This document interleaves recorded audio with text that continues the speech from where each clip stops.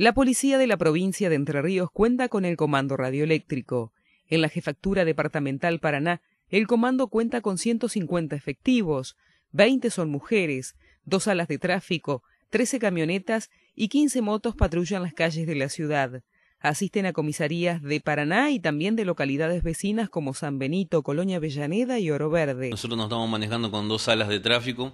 Es una generalizada que tiene las entradas de las líneas gratuitas que son la 101, la 422 22, y asimismo luego de que ingresa la, llamada de, de, emergencia, preaviso o algún acto resolutivo que suceda en la vía pública, la segunda sala es la de despacho, donde se encuentran las radios de comunicación, donde se mandan las motopatrullas, los vehículos o asimismo los HT o las paradas que se encuentran dispuestas para el servicio diario. A disposición del Comando Radioeléctrico tengo 13 camionetas, 15, 15 motocicletas y un sistema operativo que funciona 100%, a full. Las 13 camionetas andando y las 15 motos patrulleras andando las 24 horas. Comando, buenos días, gente Rivero.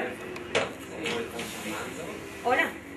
A diario el Comando Radioeléctrico recibe más de 700 llamadas, se lleva adelante también lo que es el programa Vecinos en Alerta. Se ha logrado reducir en los últimos tiempos la llamada ficticia. La estadística del año 2010 entraron aproximadamente 220.000 llamadas.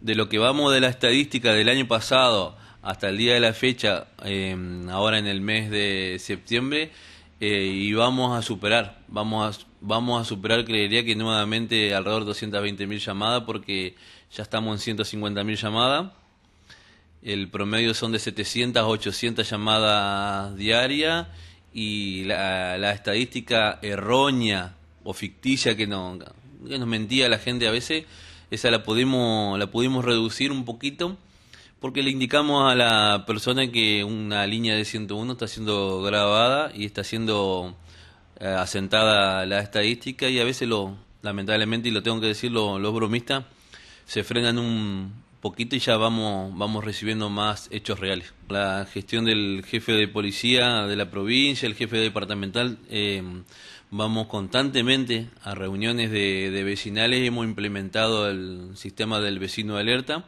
se le da un numerito y la, a la persona se le identifica solamente por un número, ingresa el llamado nosotros y lo tomamos totalmente real y hacemos asistencia preventiva a hechos delictivos, a accidentes de tránsito, por personas sospechosas nada más porque no son del, del lugar o, o similares.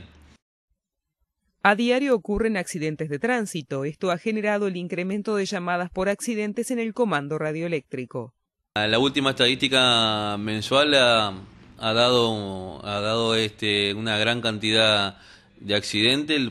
Le doy un ejemplo de lo que fue la, en la mañana de hoy. De las 6 a las 7 de la mañana tuvimos cinco accidente, hay personas graves internadas en el Hospital San Martín y, eh, esto se está suscitando a diario.